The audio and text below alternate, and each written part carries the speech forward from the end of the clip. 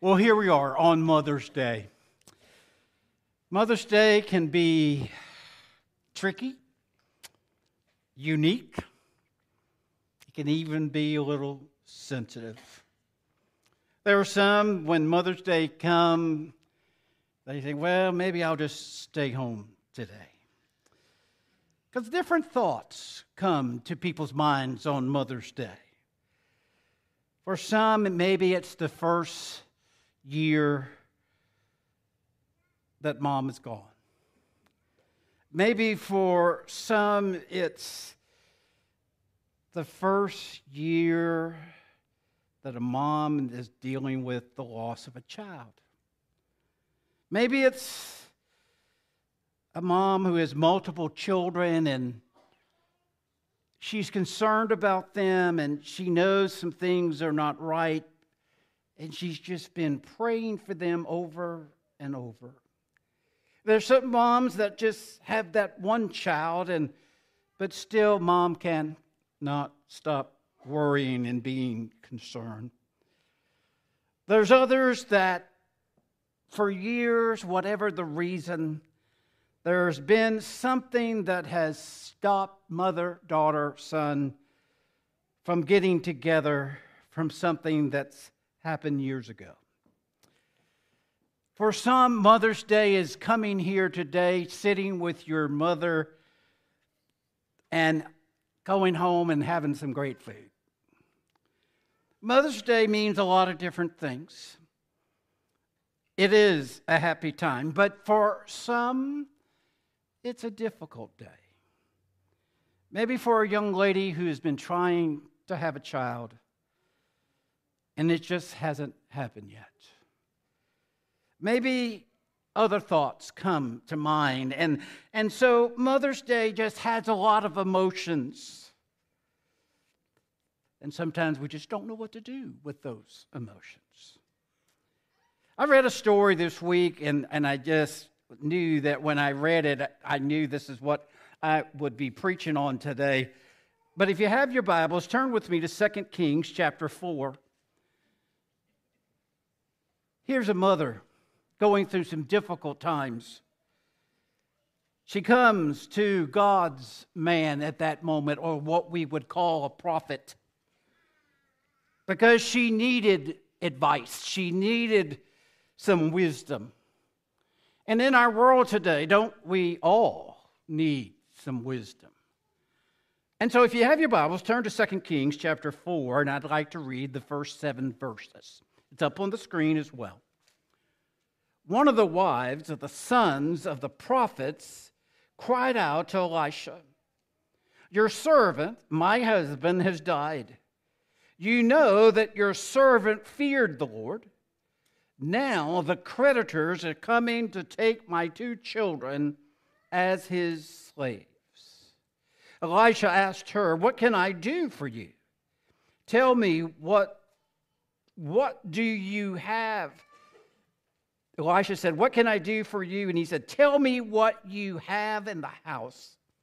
And she said, Your servant has nothing in the house except a jar of oil.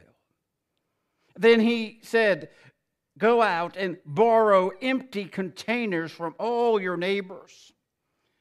Do not get just a few. Then go in, shut the door behind you and your sons, and pour oil into all the containers.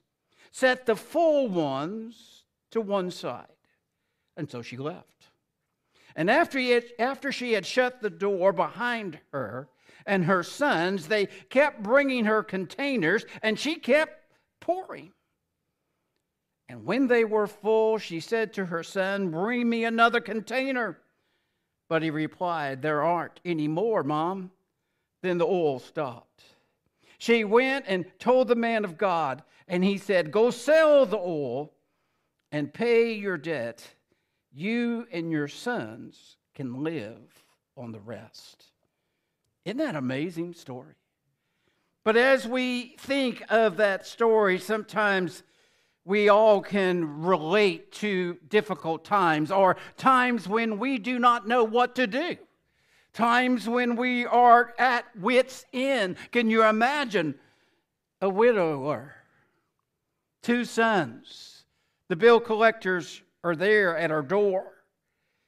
And that, in that day, Mosaic law prohibited her, prohibited her from declaring bankruptcy. So her only option was that her sons would have to pay the debt by going as slaves. Could you imagine thinking, is this all that I have? Is this the only thing that I can do is allow my two sons to go into slavery to pay the debts of their dad? And so, what did she do? She went to the man of God. She went to the prophet of that day. The prophet of God at that moment was Elisha. And I can imagine as this woman came to Elisha with this situation, Elisha said, What can I do for you? And she told him. But she also shared, Elijah said, What do you have left at that house? And basically, what was she telling him? I have nothing. You ever feel like that? I have nothing left. But all she had was a jar of oil. You know, that is interesting. When I read that this week and I started thinking about that, you know, sometimes in life we're just like this in the sense that said, man, I don't have nothing. There's no way I can survive. But again, we are reminded of what God can do. Sometimes we think we have nothing for God to use but over and over in the Bible, we find where God can take what we think is nothing and do something great. Remember when Jesus was with his mom at a wedding? And you know, you know how moms sometimes ask you to do things. You go, Mom, not now. You know, Mom, they don't want to hear me sing. You know, Mom, they don't want to hear me play the piano. You know, and and so what did Jesus' mom? Jesus, they're out of wine. And, you know, I know you can do it. And she walks off. You're like, you know, you know how moms do. And Jesus is looking. There are six empty jars. But what did Jesus do? He took those six empty jars and he told those people to put what? Water in them. And then he said, Take a scoop, a cup, and bring it to the host and say, Here. And when the host tasted it, it was the greatest wine of the evening. What did Jesus do? What did he take? What did he have? Six empty jars. But they made wine. Remember when Jesus and disciples were on the hillside and they were ministering to the people and they were sharing with them, and, and, and some of the disciples said, said to Jesus, You know, it's getting time to eat, and, and we don't have enough money. There's not enough money here to even think about going to the town and buying enough food for all these people. And so, what did Jesus say? Gather what's in the crowd. And you know this story. There were five loaves of bread, two fishes. And what did Jesus do? What seemed to be what? Nothing. Seemed to be well, this is not going to do. This is not enough to feed a multitude. But what did Jesus do? He took that parcel and he broke it, blessed it, and broke it, and there was enough food to feed every person, and there were baskets left over. The point is, what can God do with what we think is nothing? You know, we are in a world today that, that, you know, we feel like we have nothing if we don't have all the things that other people have. We think we have nothing when we don't have the possessions or other things, but, but we need to see that we have so much. We have been blessed, and think about what God can use. Now, I, I, I just think that if God had told us, go take, go, go get jars. You know, I wonder if we would have even had the faith to say, To go get what? I don't have nothing. You want me to go get jars? Go get jars. Go borrow jars. Have the faith of doing that. Or I wonder, what if the wife would have said, But this jar of oil that I, that I have, my husband gave that to me. I, I, I don't want to give up the last thing that is his. She could have had those thoughts. We have those thoughts sometimes. Thank God, I, I would give up this, but I, I, I, just need to hold on to it. You know, my wife comes to me sometimes and says, Frank, why are you holding on to this? I do have a lot of stuff. But don't we do that sometimes? We're holding on to things. But you know, God is saying here, if you give me what seems to be nothing, if you give me, I can do something. And we find that in this case, God allowed her to take her one jar of oil and she started pouring. And she filled up one jar, another jar. She poured some more. She poured some more. She poured into every jar that her children were able to bring to her. She filled them. And the jar she had was still full. She just kept pouring. And when did it stop? When the last jar that they had Guys, I want us to see whatever we have this morning, I want you to know you might think it's not, but it is enough for God to use for a good purpose. It is amazing what God can do. And this morning, as we think of Mother's Day, sometimes some of us don't know those times when mothers they worried about she was going to have enough food to feed everybody. She worried about if there were going to be clothes and shoes. But many of them just kept on praying and knew God would provide. You see, we need to be reminded what God can do. You know, raising a family, each family is different. Think about your kids. Maybe you got one, maybe you got three, maybe we got seven, six, five. Are they all the same? Larry, is your three the same? No, no. No.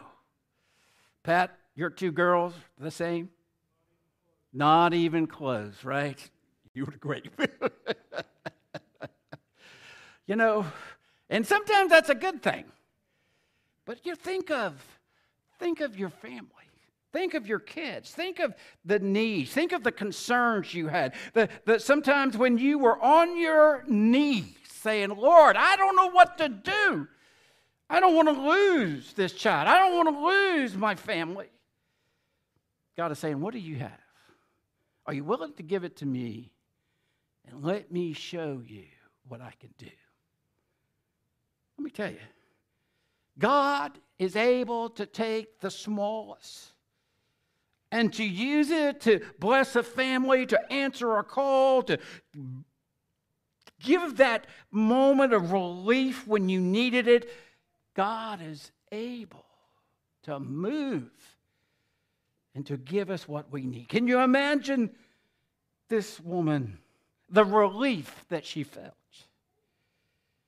And then Elisha said, to her, Go sell the oil, pay your debts. You and your sons can live on the rest. God provided. Today, raising kids, is it easy? no, it's not. It is not easy. And that's why we need to make sure that God is in our family.